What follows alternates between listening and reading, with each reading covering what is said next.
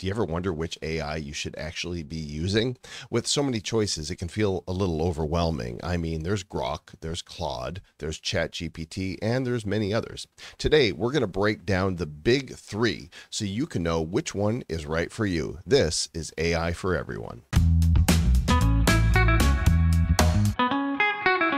Welcome to AI for Everyone. I'm Joel Comm. And if you're new here, this is the show that makes artificial intelligence simple, fun, and useful. And before we get started, it'll really help out if you hit the subscribe or follow button and give this a like. That tweaks the algorithm and lets others know that you found something interesting and maybe they should watch it too. Also, I've put together two free resources for you the Beginner's AI Starter Kit and the top 10 things you could do with AI even if you're over 50. Check the link below. You can get them free right now.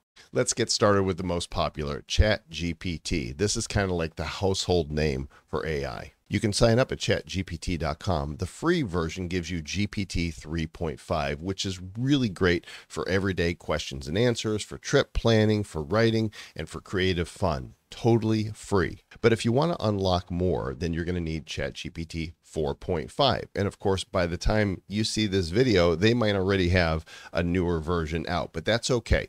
The paid versions are about $20 a month and they're smarter, they have longer memory, they can handle images, and they've got more advanced reasoning as well. I want you to think of ChatGPT like your friendly, helpful neighbor. It's always polite and ready to lend a hand in whatever you need. But if you go ahead and spend on Plus, then all of a sudden that neighbor speaks five languages and can make gourmet meals for you. I currently pay for this. Next up is Grok. It's spelled G R O K.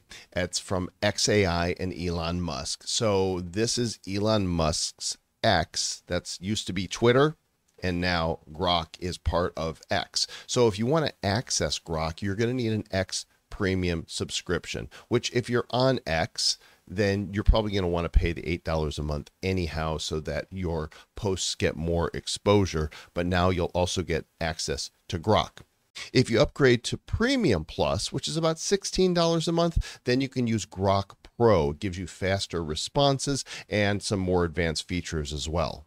But here's one of the really cool things about Grok. You can literally type at Grok into a post or a reply on X, and it will trigger the AI to give you an AI powered response in real time. This is something that no other AI does.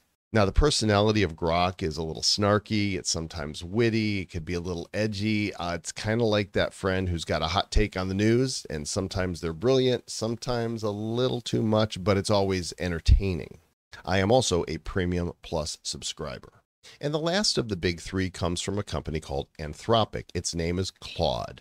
It's uh, not as famous, but it's a really good option, especially if you're new to AI. So the free version gives you access to Claude 3 Haiku. It's a lightweight but a pretty powerful model for basic everyday use. If you want to use Claude 3 Opus, though, it's going to cost you $20 a month. This is their smartest model, and it has deeper reasoning and bigger limits for you.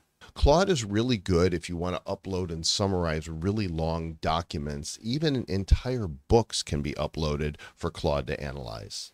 Personality wise, Claude is calm, thoughtful, gentle. It's kind of like the wise librarian that never makes you feel silly for asking a question.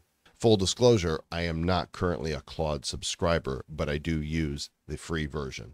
So, how do we compare the three of these and which one is right for you? Well, that's going to be completely up to you. If you want versatility and creativity, then ChatGPT is probably your best bet. If you want real time news and a little bit of sass with your AI, and if you're already on X, then check out Grok. And if you're looking for a patient, thoughtful assistant that can handle really large documents, then maybe Claude is your guy. And here's the truth of the matter you don't have to pick just one. All three have great options. So you can go ahead and experiment with it and see which one vibes best with you. You're not going to break anything. There's plenty of other AI services that I'm going to cover in future episodes, but if you've enjoyed this breakdown, then please subscribe, hit the bell for notifications, and share this episode with a friend. It really helps to get the word out. Also, don't forget to grab your freebies. Go to aishow.io forward slash free.